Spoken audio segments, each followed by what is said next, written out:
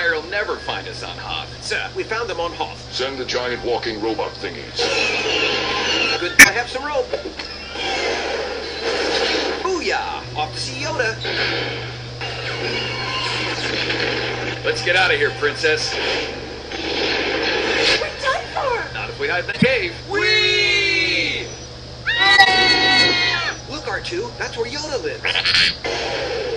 Master Yoda, I've come to train to be a Jedi. Ready? You are not. Please? Uh, okay. Use the Force, Luke. Yeah. Use the Force, Luke. Eh, Use the Force? Yeah, I got it.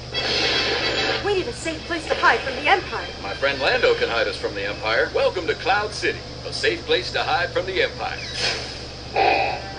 Unless, of course, I turn you in. Son of a... My friends are in trouble. I've got to rescue them. Ready? You are not. See ya. Now I'm going to freeze you in carbonite. Han, I love you. Yeah, I know. You suckers. You're saving us? That's how I roll, baby. Come to the dark side, Luke. Eh, no thanks. I'm your father, Luke. Wow, I didn't see that one coming. Guess I'll throw myself into this reactor shaft. I just got a feeling that Luke threw himself into a reactor shaft. Hey, I appreciate the rescue, and this new hand is cool and all, but Vader got away. Yeah, and Han's still frozen in carbonite. Boy, this isn't much of an ending, is it? Eh, it'll make sense the next movie.